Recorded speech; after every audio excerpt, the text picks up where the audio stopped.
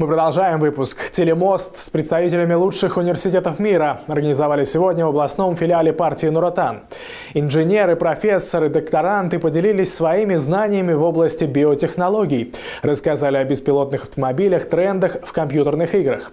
Встреча должна была пройти для учащихся школ города, но из-за морозов они не пришли. Вместо них об инновациях в сфере IT-технологий от международных спикеров узнали учителя, которые передадут эти знания школе школьникам.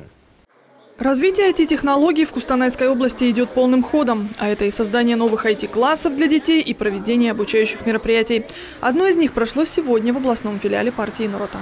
Сегодня у нас проходит э, телемост э, участников про проекта партии «Нуротан. Бесплатные IT-классы для детей» э, с ведущими IT-школами мира. К примеру, будут подключения с Google, Electronic Arts, Стэнфордская школа, Пенсильванский университет и подключение также будет с инновационной школой программирования – школа 42, это французского миллиардера Ксавье Нила. Телемост планировалось провести для учеников восьмых и девятых классов, но вмешались кустанайские морозы. Из-за понижения температуры и отмены занятий в школах на онлайн-встречу учащиеся не пришли.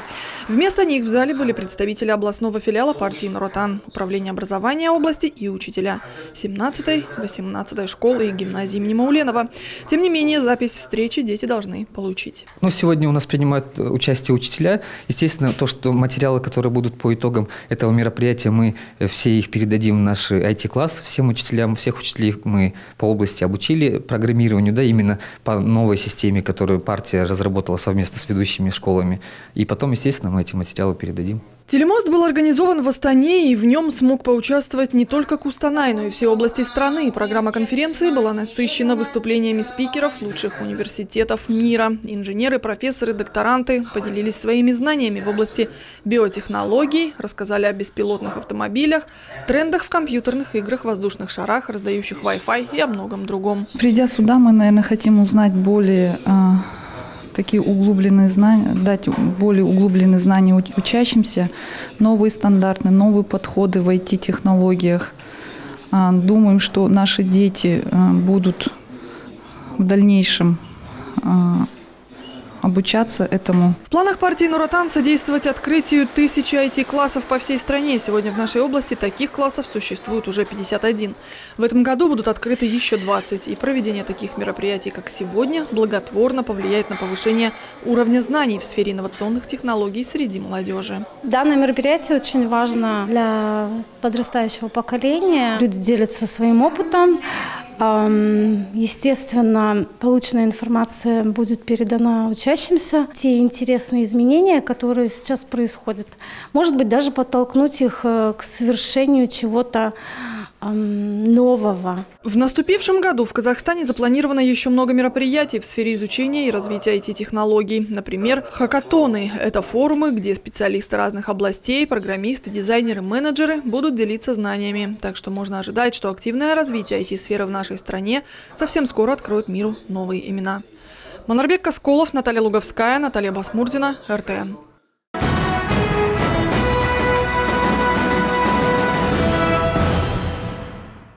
Почти 95 тысяч новых книг появились в кустанайских библиотеках в прошлом году. Почти 80% из них приобретено на деньги из республиканского бюджета, а вот центральной библиотеке Сарыкольского района книги в прошлом году подарили меценаты. Причем самые необходимые – детские. Мои коллеги расскажут подробности. Сарыкольская районная библиотека – одна из показательных в Кустанайской области по части пополнения книжного фонда. Он здесь внушительный – больше 196 тысяч книг. Читать, судя по всему, здесь любят. В 24 библиотеки, в том числе и районную, записаны 12,5 тысяч читателей. И это при общей численности Сарыкольского района 21 тысяча жителей. Ежегодно мы обновляемся на сумму 2 миллиона тенге. Есть э, районы, которые и на 500 тысяч всего пополняются. Есть районы, которые вообще не пополняют. Ну, в зависимости от бюджетного наполнения. Кроме этого, у нас поступают книги по госсоцзаказу. Это оплачено республиканским бюджетом. На 2 миллиона тенге в прошлом году библиотека приобрела почти 1200 книг по запросу читателей. Это детективы, боевики, любовные исторические романы. А вот детские книги – это 500 экземпляров на полтора миллиона тенге приобрели для библиотеки меценаты. Но этот случай исключение. В большинстве своем книги в Кустанайской библиотеке приобретаются за государственный счет. У нас по области 361 библиотека. Финансируются они из республиканского бюджета и местного бюджета. Э, в 2018 году э, было выделено 89 миллионов 305 тысяч тенге. Из них ушло на подписку 55 миллионов 582 тысячи и на приобретение книг 33 миллиона 723 тысячи. И вот из местного бюджета были выделены средства. Вот в 2018 году 29 миллионов, на них было приобретено 22 900 экземпляров книг. В 2017 году сумма финансирования из местного бюджета была меньше на 2 миллиона тенге. На эти деньги были закуплены 22 тысячи книг. В прошлом году в рамках госзаказа поступило 73 тысячи новых экземпляров. Больше 70% этих книг, как отмечают библиотекари, на казахском языке, общеполитического направления и по истории. Что касается текущего года, то местный бюджет выделил на покупку книг и периодики для библиотек примерно 30 миллионов тенге. Алексей Алексей Кудрявцев и Татьяна Калюжная, РТН. Это все новости дня. Спасибо, что были с нами. До свидания.